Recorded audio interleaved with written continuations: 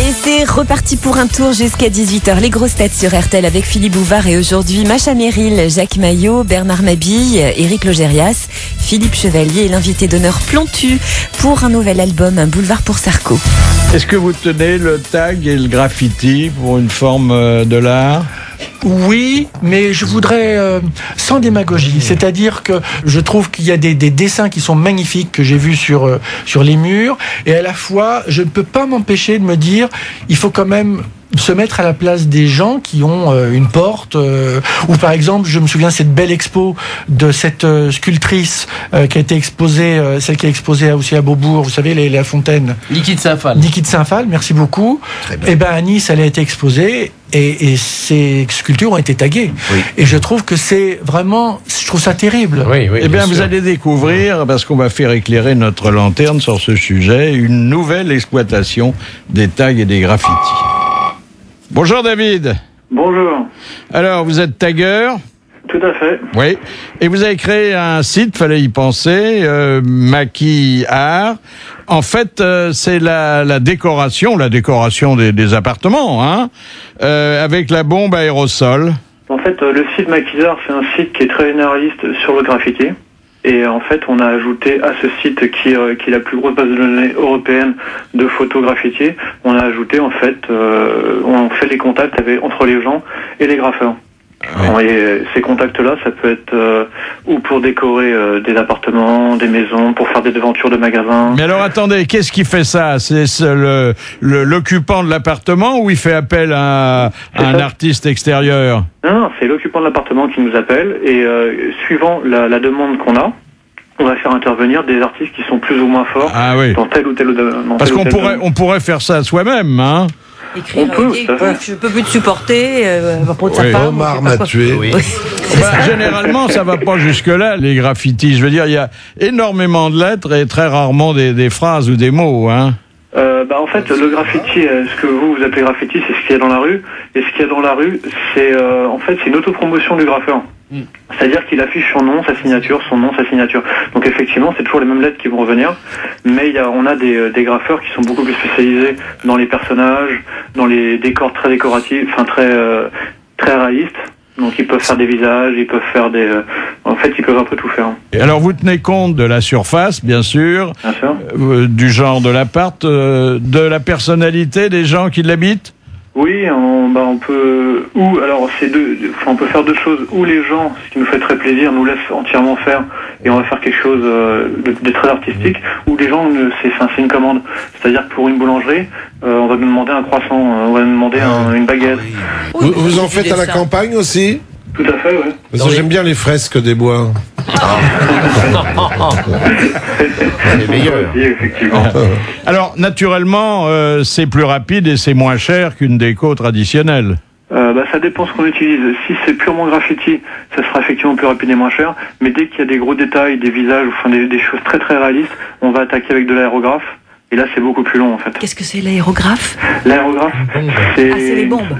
Non, c'est pas une bombe en fait. Non Ah non. C'est, euh, on relie un compresseur en fait à une sorte Ah de oui, petit bah oui. pistolet très précis. Ah oui, C'est comme un poste à souder, comme un poste à souder un peu. Un hein. poste à souder de la peinture. Voilà. Mais après, on peut vivre dans la pièce où il y a une odeur terrible qui reste pendant des années et des années.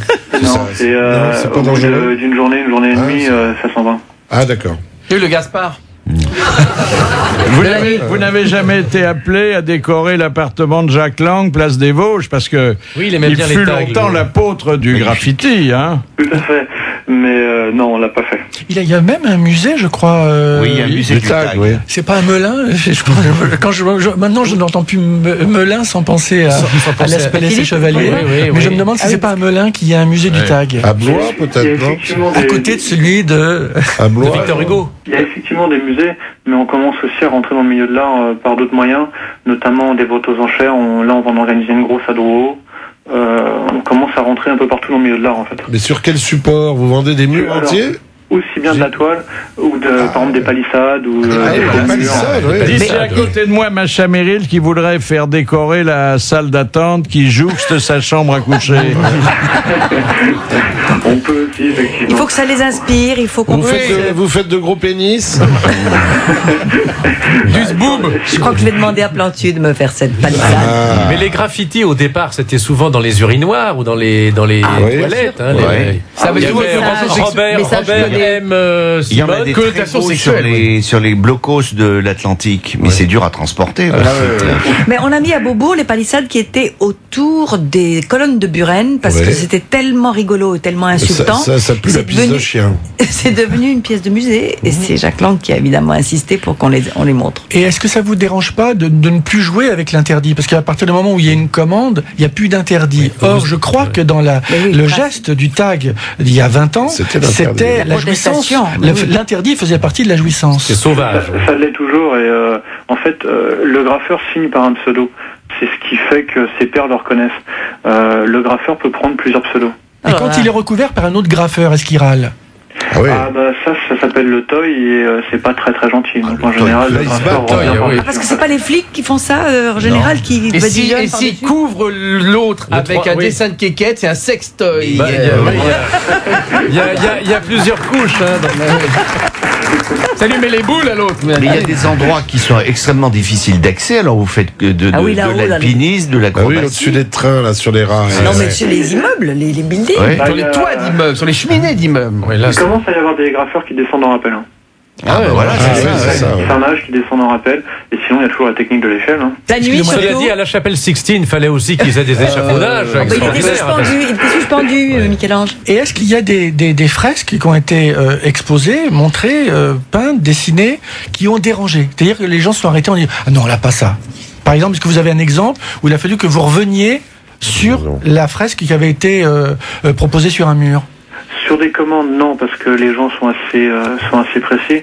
Mais effectivement, euh, il peut y avoir des choses qui dérangent. Et euh, le graffeur, vu que c'est aussi de l'interdit, euh, il cherche à déranger. Donc euh, il y a beaucoup de choses qui dérangent. Il y a un excellent support qui est sur le bord des routes et des autoroutes. Ce sont des boîtes grises Ah qui oui. sont assez laides.